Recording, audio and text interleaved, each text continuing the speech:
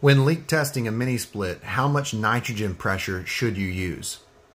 I did a video on how to work on mini splits and I got a couple comments like this one. 500 psig is too high for a mini split.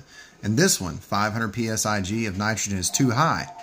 This is a manual and this is a two-day training that I did, DVMS. You can pause the video right now and read through this, but it says pressure system to 75 psi for 5 minutes, pressure system to 220 psi for 5 more minutes, pressure system to 590 psi for 24 hours, bring back down to 145 psi and leave until ready to begin vacuum process. Make a note of ambient temperatures after pressurizing system to 590 psi.